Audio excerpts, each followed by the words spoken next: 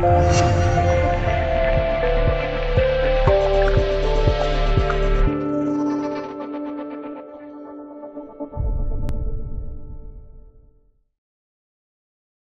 和老公是参加聚会认识的，那时候我和朋友一起出去玩，我们商量租一间房子，可以做饭的那种，每一个人都做一个自己的拿手菜，这样吃得好还有意义，我觉得挺有趣的，就过去了。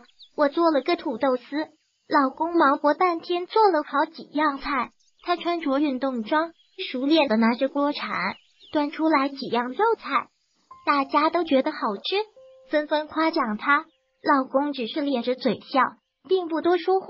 我跟他挨着，他不时的给我端茶倒手，我挺感激的。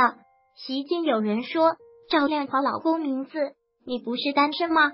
和小喵我的名字正好合适，你们俩就凑合着过吧。”大家开始起哄，我脸红了，老公也有些不知所措。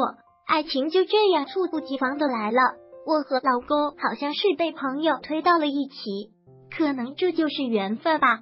我们相爱不久后就搬到了一起住，老公每天给我做好吃的饭菜，熬口口的粥。我生病的时候照顾的更仔细，会跑很远给我买喜欢的小笼包，会一勺一勺的喂我吃药，让我什么活都不做，躺在床上玩就行了。我非常感动，觉得跟他过一辈子也会是幸福的。谈了两年后，老公带我回家。他家是农村的，房屋规划的整整齐齐。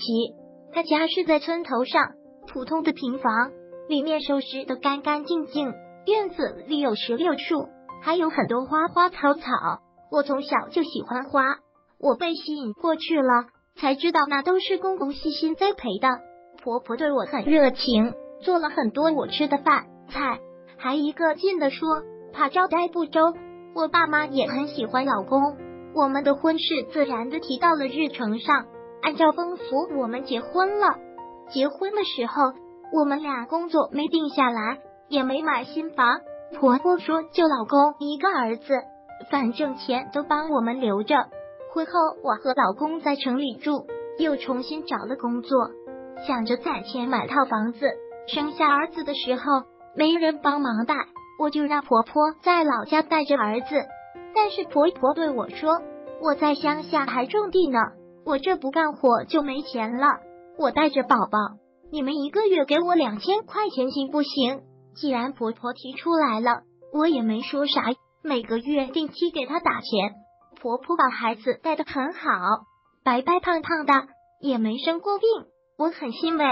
结婚第四年，我们凑齐了二十万。想着买套七十万的房子，每个月还贷就行了。